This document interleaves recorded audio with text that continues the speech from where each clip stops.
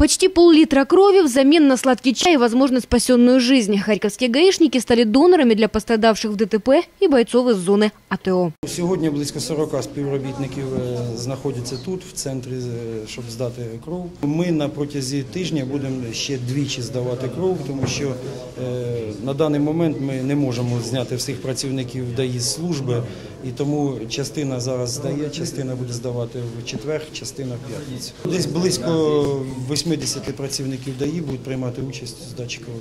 В центр переливания крови все сотрудники ГАИ пришли добровольно. Говорят, несмотря на рассказанные по телевизору страшилки, что это небезопасно, готовы рискнуть ради помощи другим. Нам очень часто приходится видеть э, людей в тяжелых э, состояниях после ДТП.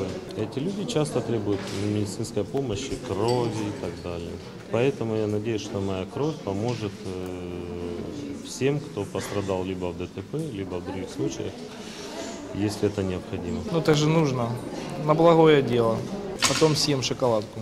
Врачи центра уверяют, опасения инспекторов напрасны. Процедура сдачи крови не только безопасна, а еще и полезна. Забор крови у нас, можно сказать, что на европейском уровне. У нас современное оборудование, у нас современный, современный операционный зал.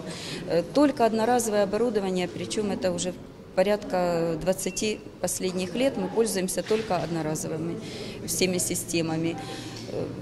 В общем-то, безопасно для донора и полезно, потому что, как вы знаете, сдача крови э, стимули- стимулирует иммунную систему, э, ведет э, к тому, что кровь обновляется, Медики уверяют, необходимость в пополнении запасов банка есть постоянно. Дело в том, что у крови есть срок годности, а израсходуется она очень быстро. При этом работники центра просят волонтеров и различные организации при массовом походе на процедуру сдачи крови изначально согласовывать все с руководством учреждения. Ольга Калиниченко, Денис Вишневский, 057 UA.